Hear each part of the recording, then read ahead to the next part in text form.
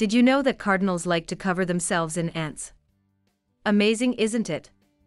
Welcome back, and let's resume our journey.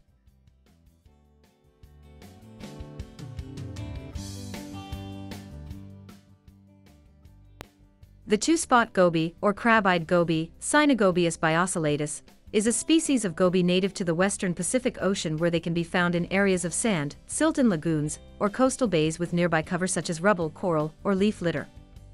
They can be found at depths of from 1 to 30 meters. This species can reach a length of 10 centimeters.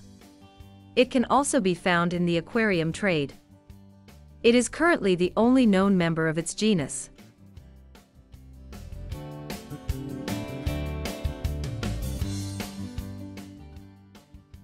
It was wonderful to host you. I am sure you will be back soon. I will be looking for you. Bye for now.